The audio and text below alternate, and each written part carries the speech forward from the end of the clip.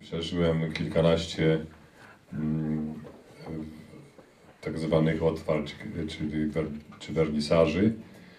Miałem em, kilkaset wykładów, ale wszystko to było właśnie o malarstwie, o plakacie, o sztukach plastycznych, ale nigdy nie o, o literaturze.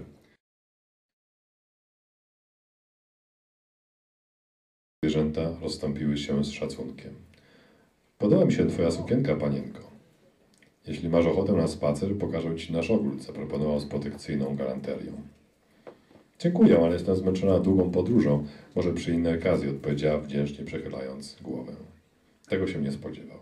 On, największy kasanowa okolicy, do którego, jak głosiły plotki, nawet żona jastrzębia mistrzyła pióra, dostał ewidentnego kosza. Urażona duma własna nakazała mu odmaszerować z podniesionym dziobem, a gdy usiłował powiedzieć na pożegnanie coś nonszalancko dowcipnego, z gardła wydobył mu się tylko niezrozumiały gulgot.